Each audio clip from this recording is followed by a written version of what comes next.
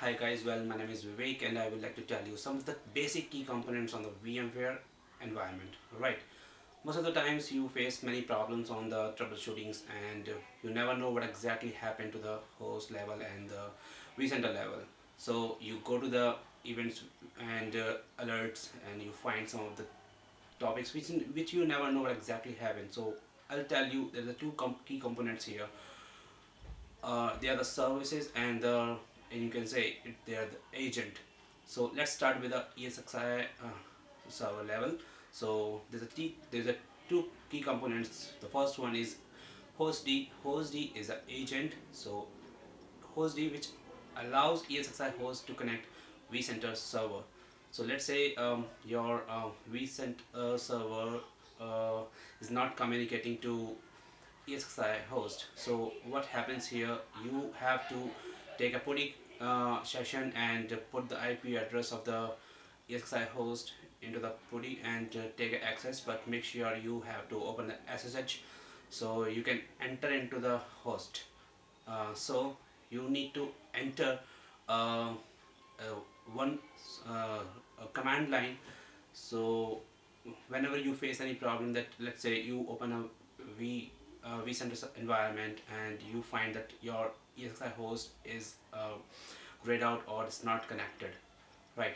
So in the background your virtual machines are running everything is are running but it, if it is not connected to the VMware environment like vCenter environment you know, most of the policies and the services uh, or some other uh, security levels are not uh, communicating to the vCenter uh, environment so what exactly you required here? Open the PuTTY session put the IP address of the uh, host and enter it uh, and then you need to type a command uh, services mgmt uh, hyphen vmware restart. So what this services does uh, it just restart your management services and make your ESXi host live into the vCenter environment so make sure you have to uh, check this first before doing any troubleshooting things. Then you can go and check your network connectivity and some other stuffs. First make sure this command need to be run before uh, doing any activity on the vCenter server or ESXi host. Right and the other key component that I would like to explain on this uh, VPXA VPXA is also an agent or reside on the VMware environment so VPXA is a vCenter uh, agent uh, which allows to connect the ESXi host right? So it's uh, let's say these two components are not running on the on the host level or somehow it is not connected or somehow the service uh, agents are not running properly. So you have to make it alive. So there is a command for the VPXA VPXA need to be run like a open and PuTTY session again and same the, the way which I have told you um, while uh, putting a uh, uh, running a command just like host services you need to type the same, uh, not the same command, the new command that is called vmware hyphen vpxa services. Just enter it and it will uh, restart the services and your vCenter, your ESX server will connect to the vCenter environment. So uh, part of that, if the service is not uh, connecting or is not reflecting there, so what exactly you required here, you have to check the logs.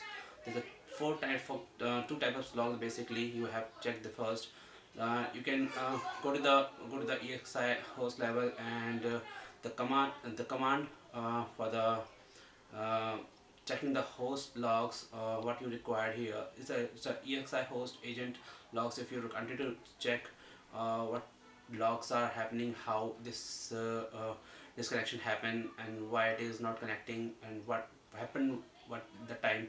So you check everything. There's a command called um, open the command PuTTY, uh, PuTTY and check, put the command slash var uh, slash log and slash hostd dot log. You will find all the uh, timestamp there. You can see warnings and events and alerts what happened to the host level and how the ESXi wasn't able to connect to the VMware environment or vCenter. Also for the vCenter agent is not uh, communicating you can not if you have restart the VPXA services if uh, there is nothing happened to the host level or the vCenter level what exactly you require you need to type a, a same command for the vCenter uh, to check uh, vCenter uh, agent uh, logs here there is uh, there's the same command uh, called vpxa uh, not sorry slash var slash log slash vpxa dot log.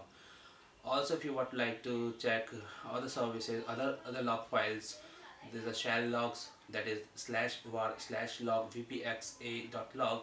That is a uh, log files which you can check it. And there is also authentication uh, log file where you can check if somebody is uh, trying to get login into the vCenter or VMware vCenter environment or some other how uh, he wanted to enter into the ESXi host there's a log generate whenever any user enter into the into the uh, server level they have their user credentials.